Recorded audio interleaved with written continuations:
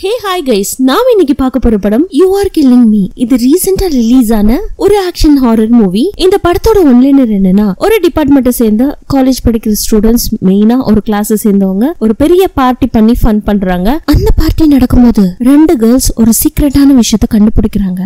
அது ஒரு கொலை சம்பவம். அந்த வீடியோவை பார்த்ததுக்கு அப்புறம் அவங்க என்ன பண்ணாங்க? அவங்களுக்கு என்ன நடந்துச்சு? அப்படிங்கறத சொல்லக்கூடியதுதான் இந்த கதை. திஸ் இஸ் தமிழ் ஓக்கல் கேண்டி ஐ மீனு சப்ஸ்கிரைப் பண்ணாதவங்க பண்ணிக்கோங்க. பக்கத்துல இருக்க பெல் ஐக்கனை பிரஸ் பண்ணிக்கோங்க. அதுல மறக்காம ஆல்ங்கிற சிம்பிளையும் கொடுங்க. அப்பதான் நான் போடக்கூடிய வீடியோக்கள் உங்களோட நோட்டிபிகேஷனை தேடி வரும். படத்தோட ஸ்டார்டிங் சீன்ல ஆஸ் யூஷுவல் ஒரு ஸ்கூல்ல கிளாஸ் நடந்துட்டு இருக்கு அந்த கிளாஸ்க்குள்ள கடைசியா ஒரு பையன் உட்காந்து ஒரு வீடியோ பார்த்துட்டு இருக்கான் அது ஒரு பொண்ணோட வீடியோ அட்டென்ஷன் ப்ளீஸ் அட்டென்ஷன் ப்ளீஸ்னு டீச்சர் வந்து சொன்னோன்னே எல்லா கிளாஸும் மிஸ் திரும்பி பார்த்தோன்னே இங்க பாருங்க நம்ம கிளாஸ்க்கு ஒரு டிடெக்டிவ் வந்திருக்காரு. அது மட்டும் இல்ல நான் சொல்ல போறது ரொம்ப முக்கியமான விஷயம். கவனமா கேளுங்க. கொஞ்ச நாளா மெலிசா பிரவுனா காணும். அவளுக்கு என்ன ஆச்சு அவளை எங்கேயாவது பாத்தீங்க இல்ல அவளை பத்தின ஏதாவது ஒரு விஷயம் உங்களுக்கு தெரிஞ்சிச்சுன்னா? எனி டைம் நீங்க என்கிட்டயோ இல்ல இந்த டிடெக்டிவ் கிட்டயோ வந்து சொல்லலாம். உங்களோட ஒவ்வொரு தகவலும் ரொம்ப முக்கியமானது. அப்படின்னு கிளாஸ் மிஸ் சொல்ல அனையோட கிளாஸ் முடிஞ்சு போயிடுது. எல்லாரும் வீட்டுக்கு போயிட்டு இருக்காங்க அந்த சமயத்துல. வேக வேகமா ஓடிட்டு இருக்காளே. இவ தான் நம்ம படத்தோட ஹீரோயின் ஏடன் இவ ஸ்ட்ரைட்டா போய் ஸ்க்ராடர்ங்கிற பையனை மீட் பண்றா. அவன் இந்த கிளாஸ்லயே ஏன் இந்த ஸ்கூல்லே பயங்கர பணக்கார பையன்? அவன் கூட எப்பவுமே ரெண்டு பேர் இருப்பாங்க. டானின்னு ஒரு கேர்ள் ஃபிரெண்ட் கோச்சானி இன்னொரு பையன். ஸ்க்ராடரோட அப்பா ஒரு அரசியல்வாதி மாதிரி பெரிய ஆளு. அவர்கிட்ட ஒரு ரெக்கமெண்டேஷன் லெட்டருக்காக போய் பேசிட்டு இருப்பா. ஆமா நீ யாரு? உன்னை நான் பார்த்தது இல்லையே அப்படின்ட்டு அவன் கேக்குறான். அதுக்கு நான் உன் கிளாஸ்ல தான் படிக்கிறேன். ஒரு வருஷமா படிச்சுட்டு இருக்கேன் தெரியாதா? நான் உன்னை பாக்குறேன் நீ என்ன பாக்கலங்கிறது பெரிய ஆச்சரியமான விஷயம். உங்க அப்பா கிட்ட பேசணும். எப்படி பேசுறது? அப்படின்னு ஈடன் கேட்க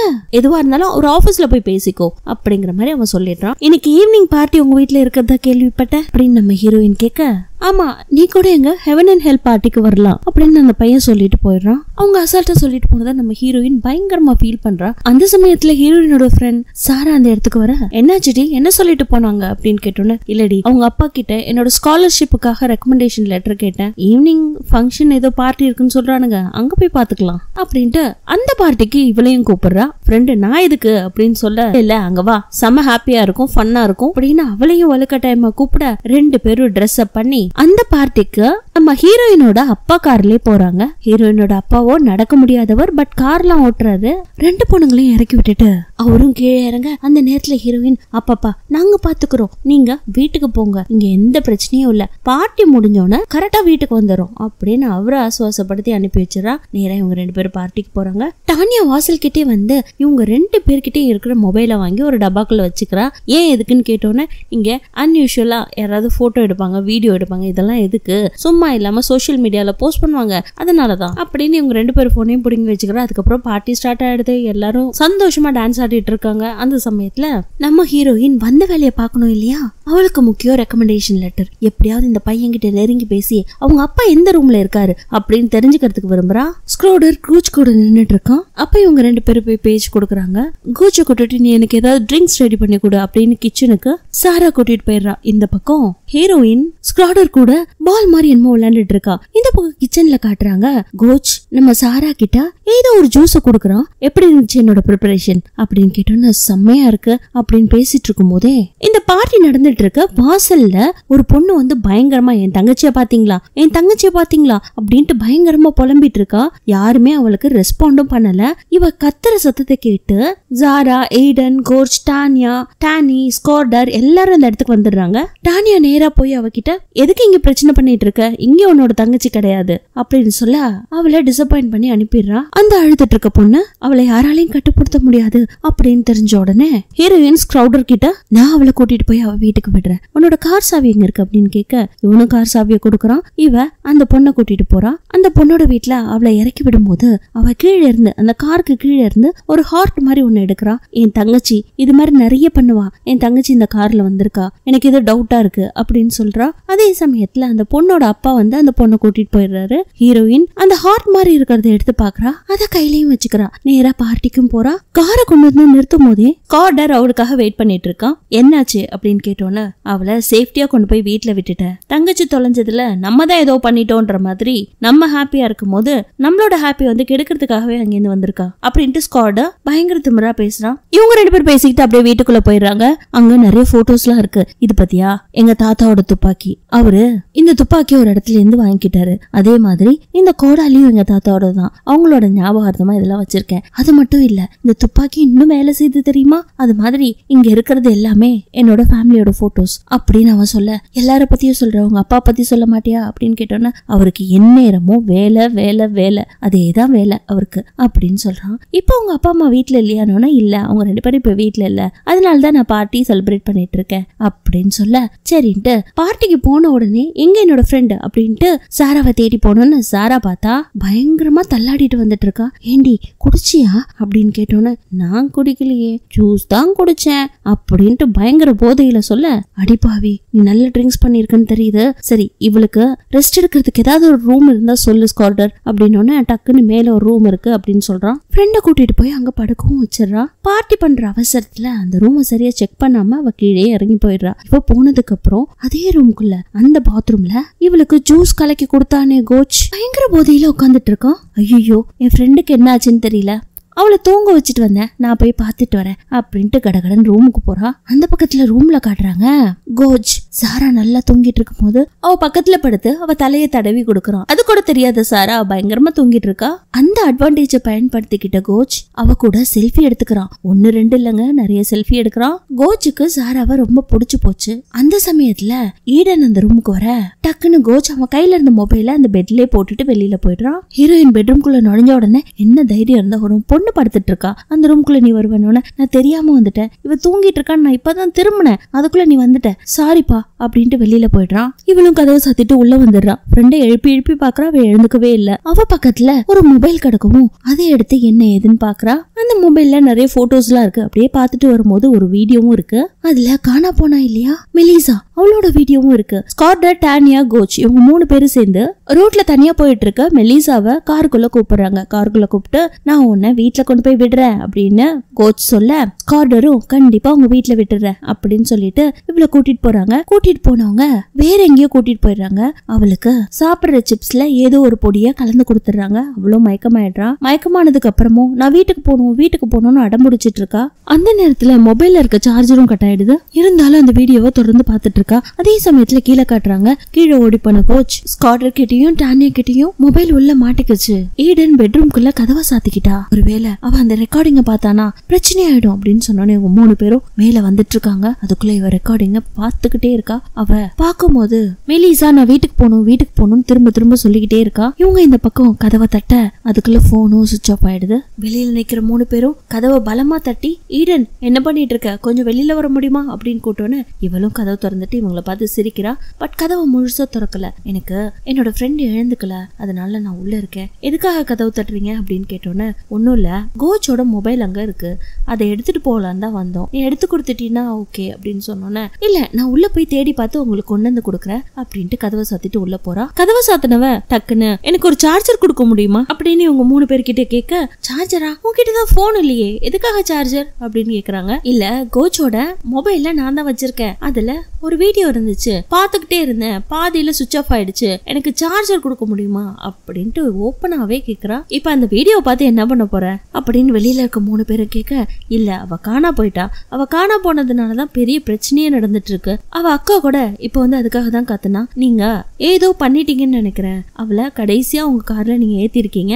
அவ வீட்டுக்கு போகணும் வீட்டுக்கு போகணும்னு கதறா. அதுக்கப்புறம் அவளுக்கு என்ன ஆச்சுன்னு எனக்கு தெரியல. நான் இந்த வீடியோவை ஃபுல்லா பார்க்கணும். பார்த்துட்டு உங்கள்கிட்ட போனையும் கொடுத்துட்றேன். நாங்க இந்த பார்ட்டி விட்டும் போயிடுறோம். அப்படின்னு சொல்ல உனக்கு இப்ப சார்ஜர் வேணும். அதுக்கு நீ கதவை தர நாங்களே சார்ஜ் போட்டு உனக்கு அந்த வீடியோவை ப்ளே பண்ணி காட்டுறோம். அப்படின்னு சொல்றாங்க. அதெல்லாம் என்னால் முடியாது. நீங்க ஃபர்ஸ்ட் எனக்கு சார்ஜர் கொடுங்க. நான் அந்த வீடியோவை பார்த்துட்டு அதுல எந்த பிரச்சனையும் இல்லைன்னா நாங்க பாட்டில் இந்த வீட்டை விட்டு போயிடுறோம். அப்படி இல்லைன்னா நான் தேர்ட்டி கவுண்ட் பண்ணுவேன். அந்த கவுண்டிங் முடியறதுக்குள்ள நீங்க எனக்கு சார்ஜரை கொடுக்கல.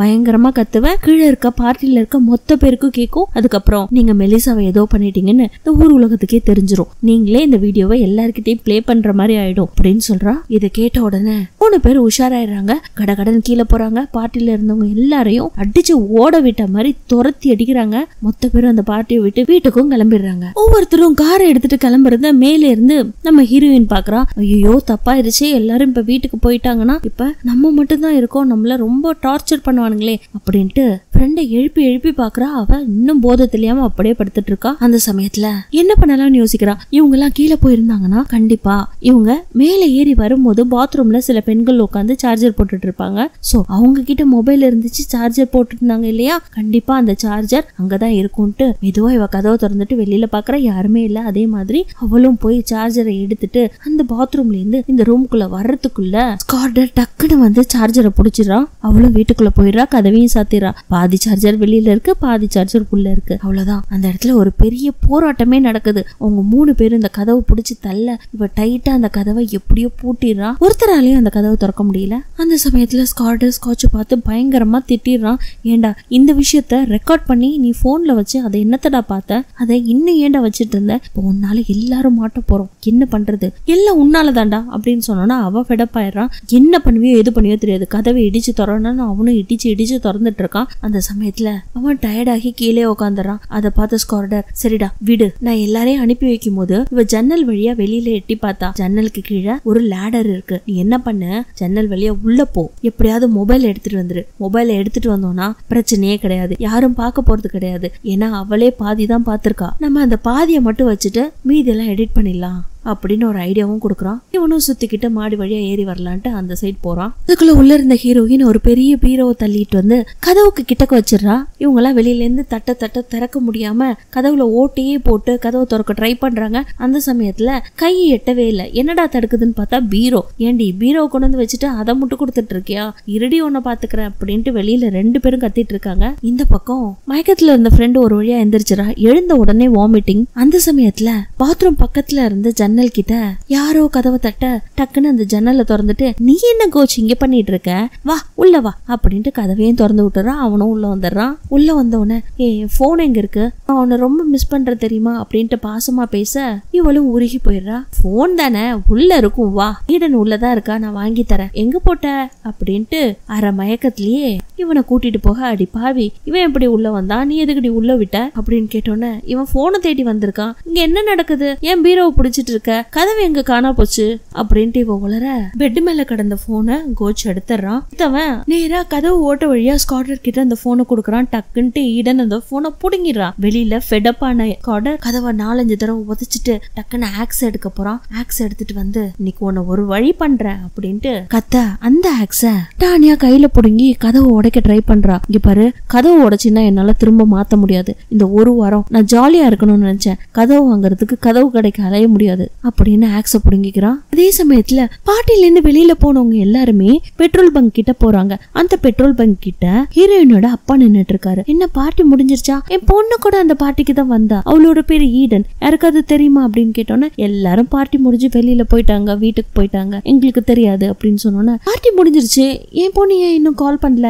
அப்படின்னு யோசிச்சுக்கிட்டு அவங்க அப்பா அங்கேயே நின்றுட்டு இருக்காரு அதே சமயத்துல இங்க காட்டுறாங்க. தாரா ஈடன் கிட்ட எதுக்காக அடி சேர் எடுத்து அடிச்சு அவன் கையில இருந்து மொபைல புடுங்கின? என்ன நடக்குது இங்க? அப்படின்னு கேட்டோன்னே அவன் கீழே கிடக்குறான்ல அவனை தர தரன்னு இழுத்துட்டு போயிட்டு ஜக்கூசில போடலாம். அதுக்கப்புறம் பேசலான்ட்டு ஜக்கூசிலையும் போட்டுறாங்க. வெளியில நிக்கிறவங்க என்ன நடக்குதாங்க? என்ன நடக்குதாங்க? அப்படின்னு கேட்க இவங்களுக்கு எந்த பதிலையும் சொல்லாம உள்ள கோச்ச ஜக்கூசில போட்டாங்க இல்லையா? டக்குன்னு. பாரு மரியாதையா? அந்த ரெக்கார்டிங்ல அதுக்கப்புறம் என்ன நடந்துச்சுன்னு சொல்லு. இல்லைன்னா இந்த ஹேர் ட்ரையரை தண்ணிக்குள்ள போட்டுருவேன். ஷாக் அடிச்சு இதே இடத்துல செத்து போயிருவேன். மரியாதையா சொல்லு மரியாதையை சொல்லுன்னு ஹேர் ட்ரையரை அப்படியே கீழே இறக்கிட்டு இருக்கா? பாரு நாங்க ஒண்ணுமே பண்ணல. அவ அழுதுட்டு இருந்தா. அதுக்கப்புறம் நாங்க வீட்டுல கொண்டு போய் விடுறதுக்காக கொஞ்ச தூரம் ஓட்டிட்டு போனோம். நானே இறங்கி போயிடுறேன்ட்டு பாதியில இறங்கி போயிட்டா. இதுதான் நடந்துச்சு அப்படின்னு அவன் புலம்ப. அதை கேட்டுட்டு வெளியில நின்றுட்டு இருந்த ரெண்டு பேரும் கரண்ட கட் பண்ணி விட்டுறாங்க. ஏய், என்னடி நடக்குதுங்க? இவனை புடிச்சு தர தரன்னு இழுத்துட்டு வந்து ஜக்கூசில போட்டு பிளாக்மெயில் பண்ணிட்டு இருக்க. அவனும் உளறிட்டு இருக்கான். என்ன நடக்குதுங்க நம்ம பார்ட்டிக்கு தானே வந்து வந்தோம் வா வீட்டுக்கு போலாம். அப்படின்னு ஈடன் கிட்ட சாரா கேட்க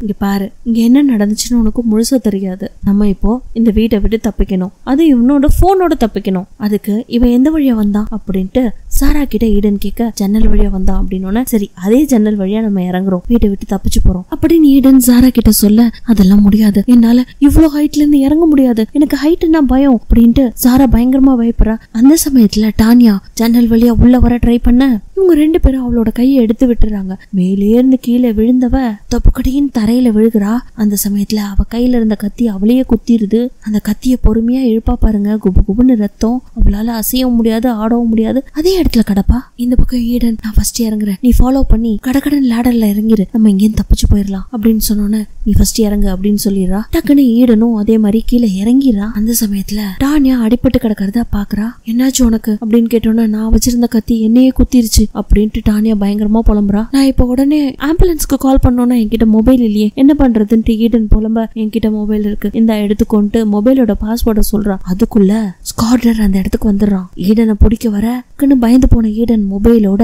லேடர்ல ஏறுறதுக்கு ட்ரை பண்றா? ஈடன் லேடரோட எண்டுக்கு வந்து ஜன்னலுக்குள்ள உள்ள குதிக்க பாப்பா அந்த சமயத்துல. டானியாவோட மொபைல் கீழே விழுந்துரும். உள்ள போனவ ஜாராவை ஆசுவாசப்படுத்துறா. இந்த பக்கம் டானியாவை ஸ்கார்டர் தர தரன்னு வீட்டுக்குள்ள இழுத்துட்டு போறான். இழுத்துட்டு போயிட்டு ஒரு ரூம்குள்ள அவளை உட்கார வச்சிடறான். ஸ்கார்டர் இமீடியட்டா ஆம்புலன்ஸ்க்கு கால் பண்ணு அப்படின்னு டானியா சொல்ல ஸ்கார்டர் அதை கேட்குற மாதிரி இல்லைங்க. நான் போய் அந்த மொபைலை வாங்கிட்டு வந்துடுறேன் அப்படின்னு சொல்கிறான் நீ என்னை விட்டு போனீன்னா இந்த இடத்துல இறந்து போயிடுவேன். என்னை விட்டு போகாத. என்னை விட்டு போகாதன்னு திரும்ப திரும்ப டானியா சொல்ல அதை கேட்காம மொபைல் தான் முக்கியம்ட்டு கடகடன்ட்டு வரான். அவளை விட்டுட்டு அதுக்குள்ள இந்த பக்கம் ஈடன் சாரா கிட்ட என்னென்ன நடந்துச்சோ? மயக்கமானதுலேருந்து என்னென்ன நடந்துச்சோ எல்லாத்தையும் உட்கார வச்சு எக்ஸ்பிளைன் பண்ணிட்டு இருக்கான். இந்த பக்கம் ஜக்கூசியில் காலும் கையும் கட்டப்பட்ட நிலைமையில கோச் இன்னும் அதே இடத்துல படுத்துட்டு இருக்கான். ஈடன் சொல்றது சாராவில் அக்செப்ட் பண்ண முடியல. என்னடி சொல்ற? ஒரு போன்ல ஏதோ ஒரு ரெக்கார்டிங் இருக்கு. அந்த ரெக்கார்டிங்கை நீ பாதி வரைக்கும் தான் பாத்திருக்க அவ அழுதுட்டு தானே உட்காந்துருக்கா அதுக்கும் நம்ம இந்த போனை கையில வச்சிட்டு இருக்கிறதுக்கும் என்ன சம்பந்தம் இருக்கு? அப்படின்னு கேக்குறா. இல்லடி இதுல நிறைய சம்பந்தம் இருக்கு. அவ காணா போன அன்னைக்கு இவங்க தான் பிக்கப் பண்ணிருக்காங்க. இவங்க ஏதாவது பண்ணிருப்பாங்களோன்னு எனக்கு தோணுது. இந்த வீடியோவை நான் ஃபுல்லா பாக்கணும்னு லூசாடி நீ நம்ம ரெண்டு பேரோட உயிரும் இங்க ஊசலாடிட்டு இருக்கு நம்ம இந்த போனை கொடுத்துட்டு இங்க தப்பிச்சு போகணும்னு யோசிக்காம அடம் பிடிச்சிட்டு இருக்க மரியாதைய போனை கொடு இவ அவ கையில இருக்க போனை புடுங்க. ரெண்டு ரெண்டு பேருக்கும் தள்ளுமுள்ள ஆயிடுது அந்த சமயத்துல ஸ்கார்டன் பொறுமையா மேல ஏறி ஆக்ஸ் எடுத்துட்டு வந்துட்டு இருக்கான் அதே சமயத்துல ஈடனோட அப்பாவும் அங்க வந்துடுறாரு. ஈடன் அப்பா வரத பார்த்து ஸ்கார்டன் பொறுமையா போய் எங்கேயோ ஒளிஞ்சுக்கிறான். அந்த சமயத்துல அவங்க அப்பா ஈடன் ஈடன்னு தேடிக்கிட்டே வராரு. ஏதோ ஒரு சத்தம் கேக்குது. இருந்தாலும் திரும்ப மேல இருக்கியாமா? அப்படின்ட்டு அவர் கால் முடியல. இருந்தாலும் பொறுமையா மேல ஏறி வந்துட்டு இருக்காரு அந்த சமயத்துல இவங்க ரெண்டு பேரையும் காட்டுறாங்க. இவங்க ரெண்டு பேரும் பயங்கரமா அடிச்சுக்கிட்டு போனை ஒருத்தர் மாத்தி ஒருத்தர் புடுங்கிட்டு இருக்காங்க அந்த சமயத்துல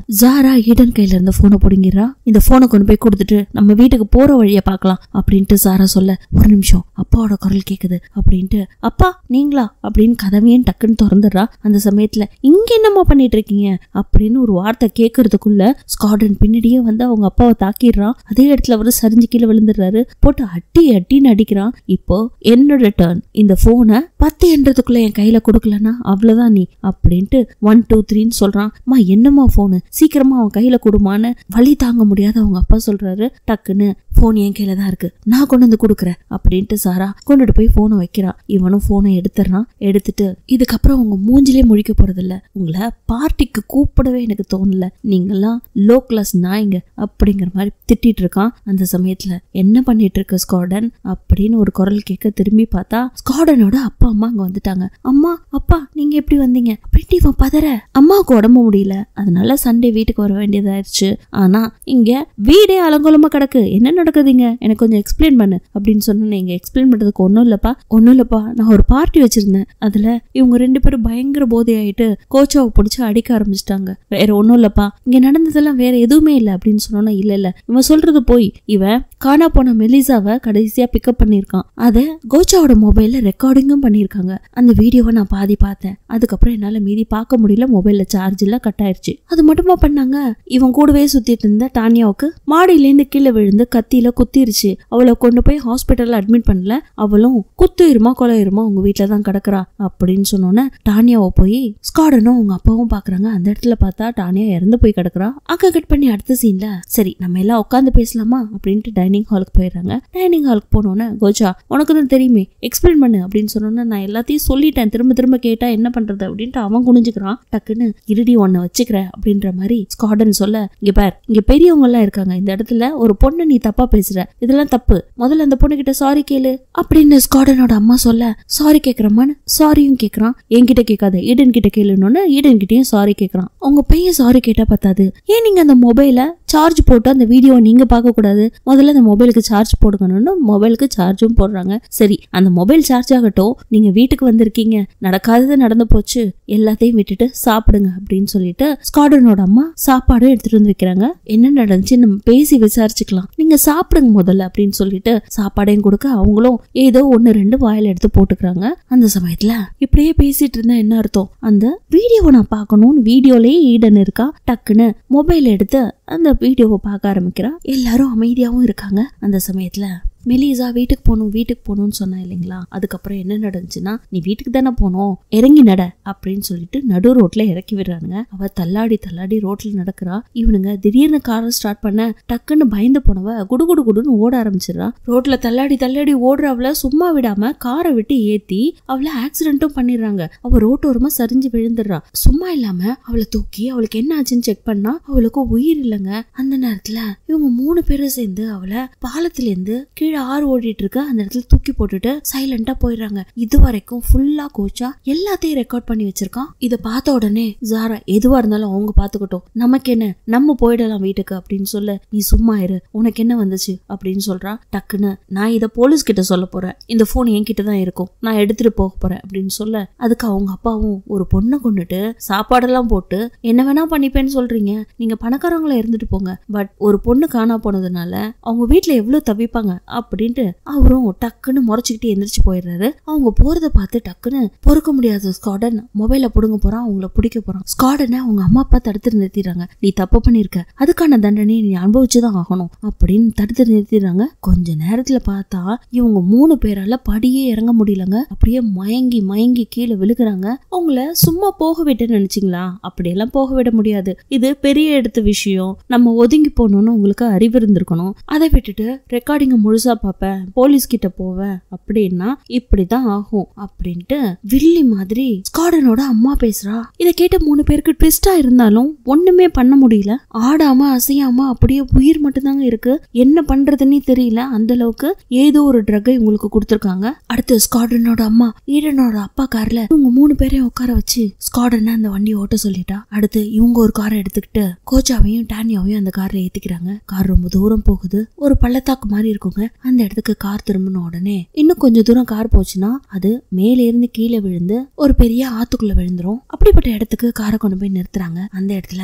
டானியாவோட டெட் பாடியை தூக்கி கோஜா நீ அந்த கார்ல வை அப்படின்னு சொன்னோன்னா அவனும் அதே மாதிரி பண்றான். இந்த பக்கம் ஸ்காடனோட அம்மா இதுக்கு மேல கோஜா உயிரோட வச்சிருந்தா ரொம்ப பெரிய ஆபத்து. நீங்க ஃபன்னா ஒரு கொலை பண்ணிருக்கீங்க அந்த விஷயத்த கூட அவன் ரெக்கார்ட் பண்ணியிருக்கான். இப்ப நடக்க போற எல்லா விஷயத்துக்கும் சாட்சி அவன் மட்டும்தான். அவனை விட்டு வைக்க கூடாது இந்த அப்படின்ட்டு ஒரு கத்தியை கொடுத்து பிள்ளைய கோச்சாவை கொலை பண்ணிடா அப்படின்னு அப்படின்னு சொன்னோன்னா அவனும் கொலை பண்ணிடுறான். கோச்சாவும் அதே இடத்துல இறந்து போயிடுறான். ஈடனோட அப்பா கார்லயே டானியா காஜ் இவங்க ரெண்டு பேரும் டெட் பாடியும் வச்சு அவங்க அப்பா வாயில கொஞ்சம் சரக்கையும் ஊத்தி விட்டுறாங்க அடுத்து இவங்க ரெண்டு பேருக்கும் எதுவுமே பண்ண முடியாம அசைய முடியாம அப்படியே இருக்காங்க இல்லையா? அவங்க கொண்டுட்டு வந்த அந்த விங்ஸ் மாதிரி இருக்கும் இல்லைங்களா? ஏஞ்சல் விங்ஸ் அதெல்லாம் வச்சுட்டு அப்படியே அந்த காரை மேலேருந்து கீழே தள்ளி விட்டுறாங்க அதோட சீன் பிளாக் அவுட் ஆயிடுது. அடுத்த சீன்ல ஈடனும் சாராவும் உயிர் தப்பிச்சு கரை ஒதுங்கிடுறாங்க. அதுக்கப்புறம் சுயநனமும் திரும்பிடுது. இதுக்கப்புறம் இந்த ஃபேமிலியை சும்மா விடக்கூடாது. எங்க அப்பாவை கொண்டுட்டாங்க. நான் பழி வாங்க போறேன் அப்படின்ட்டு ஈடன் சொல்ல இல்லடி நம்ம போலீஸ் ஸ்டேஷன் போலாம். திரும்ப அங்க போனா நம்மளோட உயிருக்கு ஆபத்து அப்படின்னு திரும்ப சாரா சொல்றா முடியாது. எங்க அப்பா சாவுக்கு நான் பழி வாங்கியே தீருவேன் அப்படின்னு அவ வீட்டை நோக்கி நடக்கிறா இவ போலீஸ் ஸ்டேஷன் நோக்கி நடக்கிறா. அதுக்குள்ள விடிஞ்சும் போயிருது. தண்ணியில விழுந்த கார் மிதந்துட்டு இருந்ததுனால யாரோ ஒரு பப்ளிக் பார்த்து இந்த விஷயத்த போலீஸ் கிட்ட சொல்லியிருக்கான். அந்த இடத்துக்கு ரெஸ்கியூ டீம் பேட்ரோல் ஃபாரன்சிக் எல்லாரும் வந்துட்டாங்க. மீடியால இந்த நியூஸ் ரிலீஸ் ஆயிடுச்சு இது எல்லாத்தையும் பார்த்துட்டு இருந்த ஸ்காடன் பயங்கர டென்ஷன். வீட்டை நோக்கி வண்டியை ஃபாஸ்ட்டாக ஓட்டிட்டு இருக்கான் அதே சமயத்தில் நியூஸ் பார்த்துட்டு இருந்த ஸ்காடனோட அப்பா மிரண்டு போயிடுறாரு. நியூஸில் என்ன சொல்கிறாங்கன்னா ஒரு டிரைவர் குடிச்சிட்டு பள்ளத்தாக்கில் விட்டதுனால ரெண்டு சின்ன பசங்க அவரோட சேர்ந்து இறந்துட்டாங்க. மூணு டெட் பாடியையும் கைப்பற்றிட்டோம் அப்படின்னு சொன்னதை கேட்டோன்னே ஷாக் இவருக்கு. அதே சமயத்தில் ஈடனும் வீட்டுக்கு வந்துடுறா அதை உணர்ந்த ஸ்காடனோட அப்பா நீ திரும்ப வருவேன்னு தெரியும் ஏஞ்சல் அப்படின்னு சொல்றாரு. அதே இடத்துல அவரை அடிச்சே கொண்டுடுறா அடுத்து ஸ்காடனோட அம்மா அவங்க அழகா ஒரு மிரர் வச்சிருப்பாங்க. அந்த மிரர் உடஞ்சிருக்கும். அதை எடுத்து பார்த்துட்டு இருக்காங்க அந்த சமயத்துல. ஈடன் அவங்க பின்னாடி போய் அவ கையில வச்சிருக்க ஆக்ஸால அவங்கள வெட்ட பாக்குறா. அதே சமயத்துல அவ வரத தெரிஞ்சுக்கிட்ட ஸ்காடனோட அம்மா கையில வச்சிருந்தா கண்ணாடி துண்டாலே அவ கால் சதக்குன்னு ஒரு குத்து பயங்கரமா ரத்தம் பொல பொலன்னு கொட்டுது. மாத்தி மாத்தி ரெண்டு பேரும் அடிச்சுக்கிறாங்க. அந்த சமயத்துல ஸ்காடனோட அம்மா ஜக்கூசில விழுந்துடுறாங்க. இத பார்த்த ஈடன் சும்மா இருப்பாளா? இப்ப கரண்ட் வேற வந்துருச்சு. டக்குன்னு ஹேர் ட்ரையரை தண்ணிக்குள்ள தள்ளி விட்டு சுவிட்சையும் ஆன் பண்ணிடுறா. அதே இடத்துல ஸ்காடனோட அம்மா காலி வீட்டை நோக்கி படு வேகமா வந்துட்டு இருந்த ஸ்காடன் வீட்டுக்குள்ள வந்து பார்த்தா அம்மா அப்பாவும் பொணமா கிடக்குறாங்க. அதே சமயத்துல வெளியில இவனோட கார் ஹரன் சத்தம் கேட்டு கீழே இறங்கி வரான். தெரியும்டி நீ என்னோட கார்ல எப்படி ஏறி உட்காந்த கீழே இறங்குடி அப்படின்ட்டு கையில கன்னை வச்சுக்கிட்டு அவளை மிரட்டுறான். அந்த சமயத்துல காரை பட்டு வேகமா ரேஸ் பண்ணிட்டு வந்தவன் அவனை இடிக்க வரதுக்கு முன்னாடி ஸ்காடன் அவளை பார்த்து சுட்டுறான். அவளோட தோள்பட்டையிலேயே குண்டு இறங்கிடுது. இருந்தாலும் கார் போய் அவனை வேகமா இடிச்சதுனால தூக்கி எறியப்படுறான். அந்த சமயத்துல காரை விட்டு இறங்குனவ அவன் கையில இருந்த கண்ணு கீழே விழுந்திருக்கும் இல்லையா? அதை எடுத்து அவனையும் சுட போறா என்ன நினைச்சானே தெரியல. அவளால சுட முடியல. கையில வேற பலத்த அடி இல்லையா? நேரா கார்கிட்ட போய் அப்படியே சாஞ்ச மாதிரி உட்காந்துக்கிறா. அந்த சமயத்துல இவன் ஊர்ந்து இவ கிட்டக்க வரதுக்கு ட்ரை பண்றான். ஒரு கட்டத்துல ஊர்ந்து வந்தவன் டக்குன்னு எழுந்து நார்மலா நின்னுட்டு அவளை பார்த்து சிரிச்சிட்டு ஸ்கூல் மண்டே ஓபன் ஆயிடும். ஆனா நீ ஸ்கூலுக்கு போக மாட்ட. அப்படின்னு சொல்லிட்டு அவளை அட்டாக் பண்றதுக்கு வரான். அந்த சமயத்துல திடீர்னு அவன் மண்டையில யாரோ வந்து அடிக்கிறாங்க. வேற யாரும் இல்லைங்க சாரா. அவன் மனசு கேட்காம திரும்ப வந்து கீழே கிடக்குற துப்பாக்கி எடுத்து அவன் மண்டையில அடிச்சிருப்பா. நீ என்ன கொண்டு கொண்டுட்டேன் சாரா அப்படின்ட்டு அதே இடத்துல மயங்கி விழுகிறான். அவன் தலையிலேருந்து குபு குபுன்னு ரத்தம் வருது. ஜாரா ஐடன் கிட்ட வந்து அடிப்பட்ட இடத்த பார்த்து ரொம்ப தவிச்சிட்டு இருக்கா. அந்த சமயத்துல பேட்ரோலோட சத்தமும் கேட்குது இதோட இந்த படமும் முடியுதுங்க. Thank you for your valuable time and support